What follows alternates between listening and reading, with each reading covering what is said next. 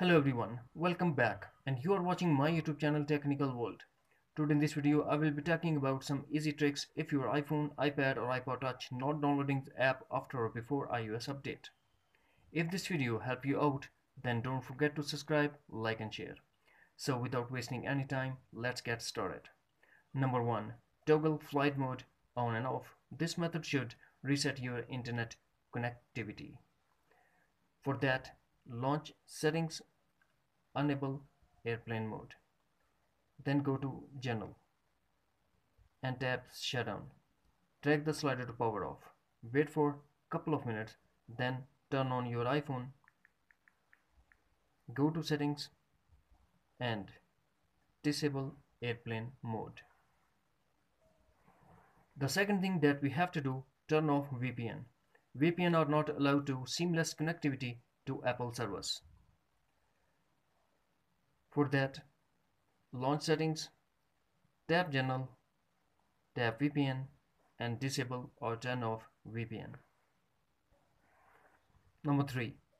Another thing, interfaces with Apple server that is date and time on your device.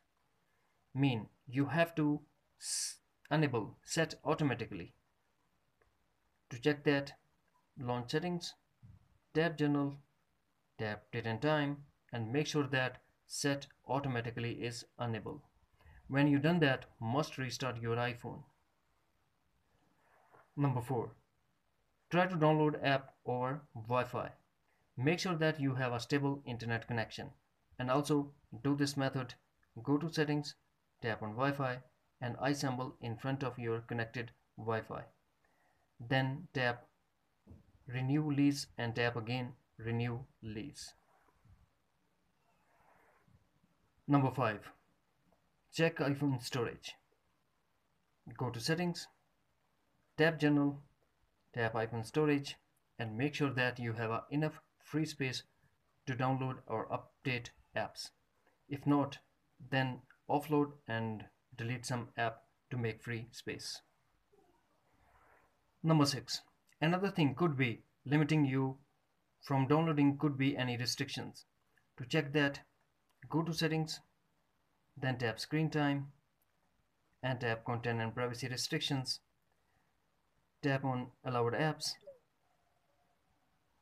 Tap on iTunes and App Store purchases and tap installing app and make sure that allow is selected then go back and also make sure that password required password and don't require is enabled number 7 sign out and sign in back. Launch settings tap on your profile name then tap sign out and follow the instruction and sign in back. Number 8 reset network settings. Launch settings then tap general scroll down and tap reset and tap reset network settings iphone passcode required and tap again reset network settings to confirm your action number 9 another simple trick that is pause and resume the downloading itself if your downloading has started but not continuing tap the downloading to pause wait for a few seconds and resume the downloading. That's it. Hopefully friends, you found this video helpful. So please don't forget to subscribe, like and share. Thanks for watching. Take care. Bye-bye.